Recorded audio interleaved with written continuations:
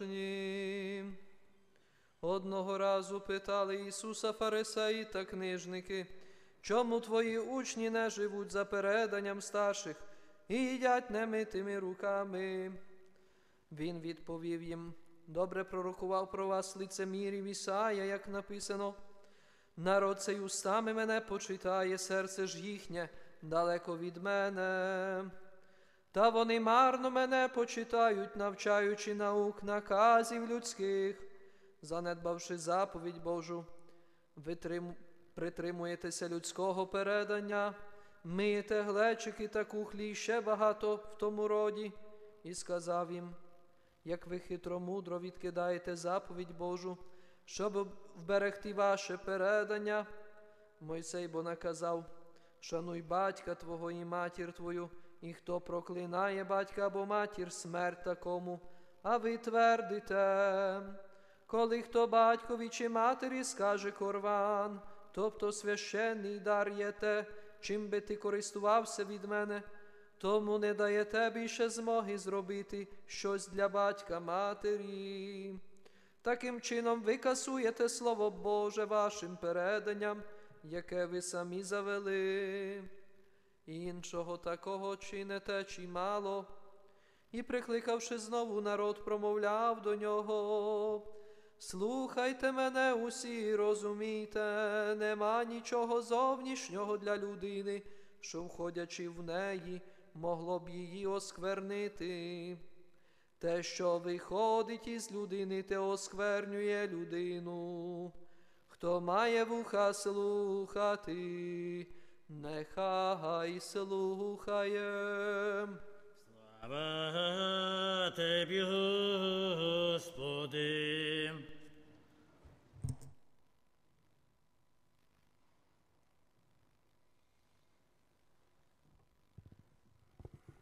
Всечесний Отець Роман, дорогі брати і сестри, слава Ісусу Христу.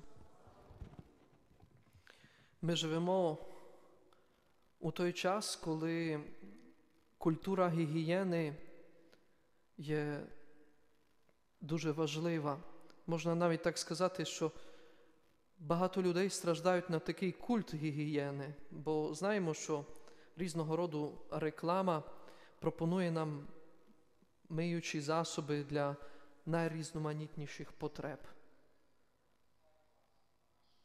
Найрізноманітніші потреби, і ми можемо собі вибрати, не знаю, перелік багато фірм і використовувати засоби ці чи то для особистої гігієни, чи для гігієни нашої оселі і так далі. Для чищення, миття цього всього зараз дуже багато.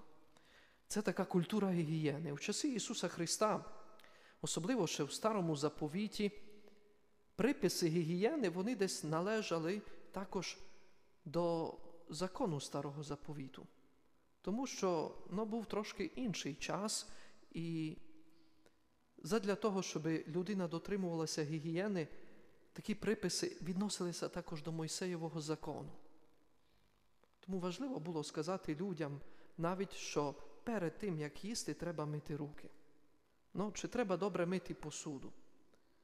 У наш час нема цієї потреби, але ми чуємо, що коли підходять до Ісуса Христа книжники і фарисеї, то вони хворіють на цей культ гігієни.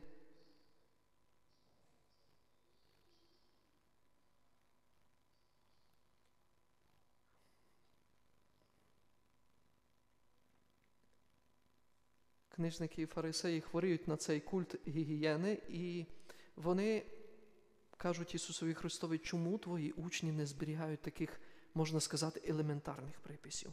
А Ісус Христос закликає їх відрізняти, що є Божим законом, а що є вашим переданням. І дуже важливо, дорогі брати і сестри, Ісус Христос каже, що передання не є чимось неважливим. Але каже, коли ваше передання, коли приписи гігієни, вони будуть займати місце Слова Божого, то тоді якому Богу ви служите? Тоді ви про одного Бога говорите, устами Його хвалите, а серце ваше далеко від Нього. Тому що приписи, традиції передання дійшли до того, що побожний єврей міг пожертвувати певну суму свого достатку на храм Єрусалимський, і ця пожертва називалася Корван. І пізніше спокійно сказати своїм батькам, що я не зобов'язаний дивитися за вами аж до смерті, я не зобов'язаний вами служи, і вам служити, як своїм батькам, тому що те, що, на що би я мав вас утримувати, я подарував на храм. Ісус Христос наводить такий практичний приклад, щоб ми зрозуміли, до чого дійшли людські приписи. Ви, каже, касуєте закон Божий шанувати батька і матір. Якщо ти цю певну суму даруєш на храм, то ти не зобов'язаний шанувати своїх батьків. Ісус Христос наводить цей крикущий приклад, через який висміює, можна сказати, передання людське, дописи людські до Божого закону. І от, дорогі брати і сестри, якщо би ми із вами зараз у сучасній культурі, коли маємо справді так високо, коли високо так цінується зовнішня гігієна, ми не забували також про внутрішню гігієну. Бо каже апостол Павло нам сьогодні, що за духом ходіть, бо дух завжди бажає те, що противне тілу, а тіло бажає те, що противне духові. І християнин, якщо не ходить за духом, то тоді як він Богові служить? Ми із вами, виховуючи дітей, звичайно, також вчимо їх правил гігієни. Подумаємо собі, дорогі брати і сестри, якщо би ми так само вчили їх правил гігієни власного внутрішнього світу. Коли тоді, коли ми говоримо дуже часто, не знаю, там це не можна дивитися, так говорити не можна, так робити не можна. Ми справді дітям пояснювали, що це вражає, псує, гноїть твій внутрішній світ. Ось тоді ми би могли справді навчити дітей також чистоти духовної, чистоти внутрішньої. Але дуже часто ми самі це сильно занедбуємо тоді, коли ми зайняті зовнішнім, ми зайняті своїми справами, ми зайняті тим, щоб впорядковано гарно виглядав наш дім, щоб ми були гарні, впорядковані.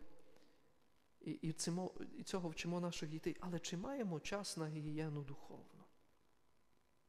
Чи маємо час справді, щоб бачити, чи поклоняюся я Богові своїм духом? Як там є в моєму внутрішньому світі? Бо справді Ісус Христос це говорить, і ми на практиці це бачимо. Ми, цього дуже добре свідомі, що людину поганить то, що виходить із її середини. Людина може захворіти, якщо не буде дотримуватися гігієни. Але хворобу ми називаємо хворобою.